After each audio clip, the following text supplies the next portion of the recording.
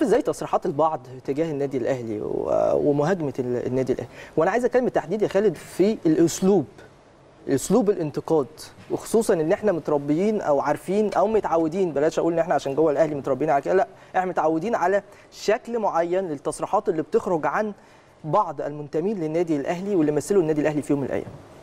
بص خلينا نكون بسم الله الرحمن الرحيم الأول خلينا نكون متفقين اتفضل. إن مش كل واحد دايما الناس بتحسبها حسبة يقول لك كل من لبس شورت وفانيلا بيتكلم في الكورة. مش كل من لبس شورت وفانيلا كلام في الكورة حكر عليه.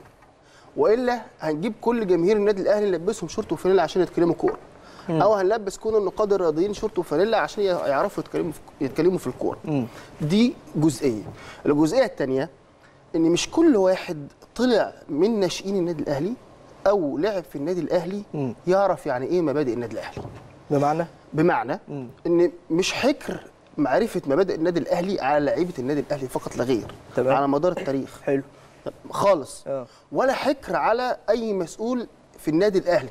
في ممكن يكون في مسؤول تصرف تصرفات لا تليق بمبادئ النادي الأهلي وشايف بنشوف مسؤولين سابقين طبعا شفنا. وبنشوف آه. وبنشوف يوميا. وبنشوف لعيبة كورة مش يوميا في الأهلي مش لا يوميا مش يوم... آه. لا أنا بتكلم في, في العموم. بتشكل في بتكلم في العموم. بشكل عام يعني. آه. أما في النادي الأهلي لا في في في بعض المسؤولين السابقين. مم. بس هم قليلين قوي يا خالد برضه قليلين. قليلين بس آه. موجودين. ما هو ده ده بيتكلم في نفس الفكرة اللي أنا بقولها. إن مش كل واحد بقى أو عدى على النادي الأهلي مم. بقى عارف يعني إيه مبادئ النادي الأهلي. كويس. وكلمة مبادئ النادي الأهلي في ناس بتسخر منها أو في ناس بتقلل قيمتها. تمام. وده بالنسبة لي أنا على على الصعيد الشخصي مقبول.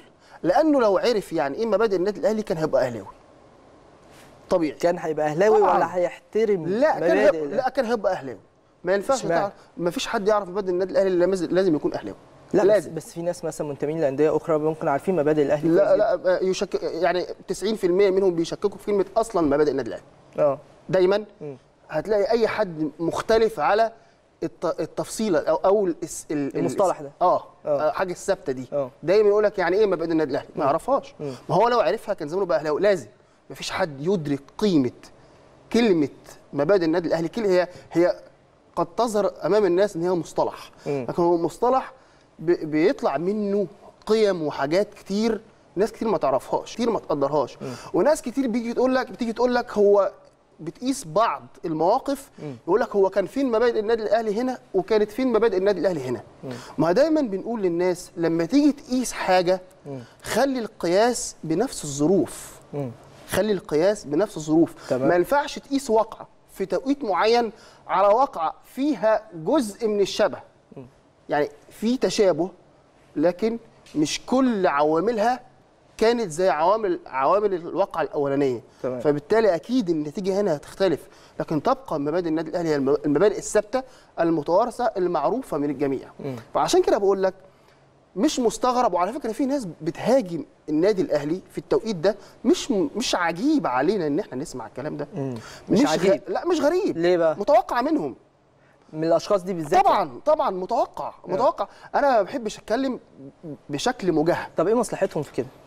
يسأل في هذا هم. يعني هم اللي يسألوا في كده. في يمكن تصورك انت. آه يمكن هو زعلان إنه بعيد عن المشهد.